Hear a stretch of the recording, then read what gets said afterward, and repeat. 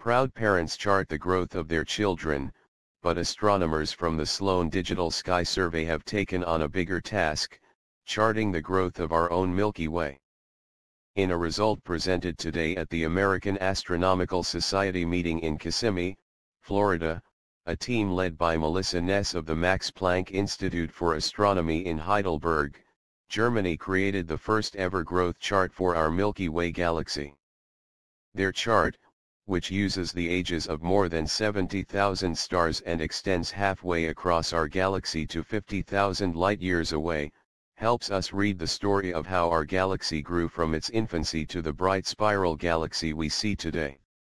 Close to the center of our galaxy, we see old stars that were formed when it was young and small. Farther out, we see young stars. We conclude that our galaxy grew up by growing out, says Ness, lead author of the study.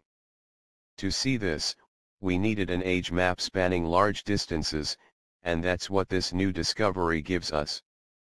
The researchers mapped the galaxy by observing red giants, bright stars in the final stages of their lives that can be observed out to large distances from our Sun, into the very inner and outer reaches of the Milky Way.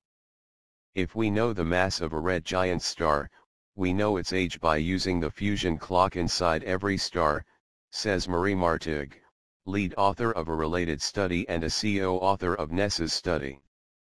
Finding masses of red giant stars has historically been very difficult, but surveys of the galaxy have made new, revolutionary techniques possible.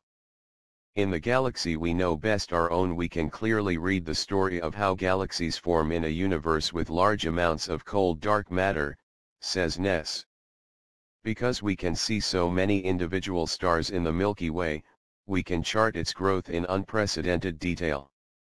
This unprecedented, enormous map really is one for the ages.